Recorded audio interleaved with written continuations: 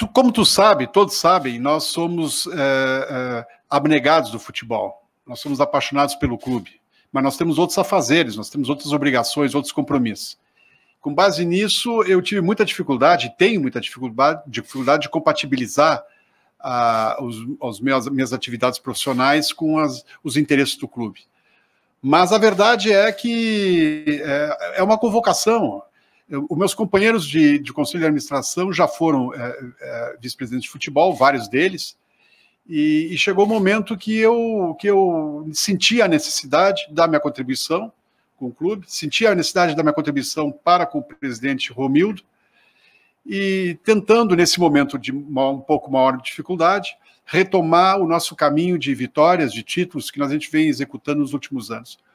Nós vamos estar alinhados com os objetivos do clube, que sempre são, principalmente, uma atividade de futebol profissional forte, né? mas com o clube equilibrado, saudável, foi uma coisa que nós conquistamos ao longo de um trabalho muito bacana, muito bem feito ao longo dos últimos cinco anos, não é? E, então nós temos que continuar mantendo o clube competitivo e com base nessa linha nós vamos atuar para o futuro. O clube forte no presente, competitivo no presente, mas forte também para o futuro, porque a vida continua depois da gente.